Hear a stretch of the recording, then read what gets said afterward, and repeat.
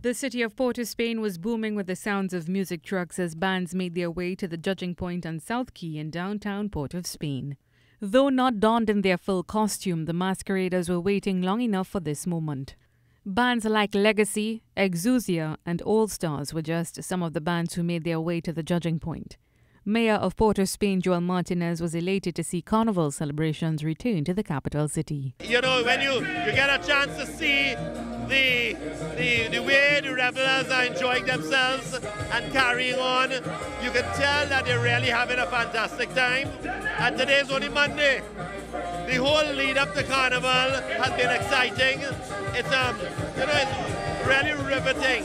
And then we have a cruise ship here bringing 1,500 people, and it looks like all of them are playing Carnival. A lot of them played J'ouvert this morning. So they are really having an exciting time.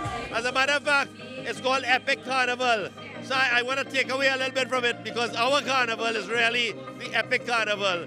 We also used the opportunity to ask masqueraders their pick for the 2023 Road March title.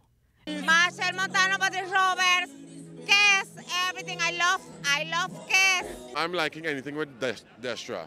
Yeah, so I guess Destra and the Machel. I'm here for Nylon Skinny. I'm a traditionalist, old school. I like all of G. Um, Bunji. Nailah Blackman and Skinny Fabulous. Bunji.